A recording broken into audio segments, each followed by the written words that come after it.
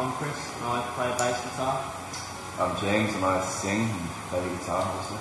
Uh, Andrew and I play guitar. And Sal and I play drums. We're about a quarter or so into this uh, four month tour of the US and it's our first time over here so um, I'm uh, kind of a bit ambitious to be doing so much but um, it's going well so far. We've been doing the tour with Social Distortion and we're doing bits and bobs in Canada and uh, until we get to the Warped Tour which will be playing in its entirety.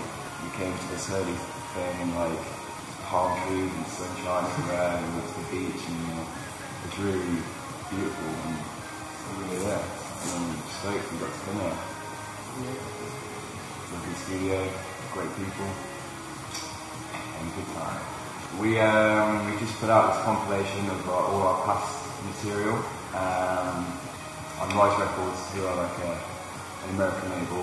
Hence why we're in America promoting and stuff. And um, that's the reason why we're over here, you know, doing our thing, promoting ourselves, getting the record and our name out there, giving us giving the people like a taste of what Sharks has been up to thus far.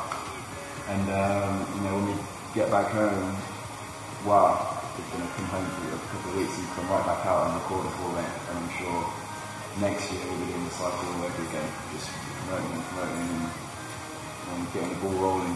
Alright, uh, well thanks to Hurley for having us today and uh, come and check us out at Warped Tour this summer. Uh, we'll be playing the whole thing, so we can't wait.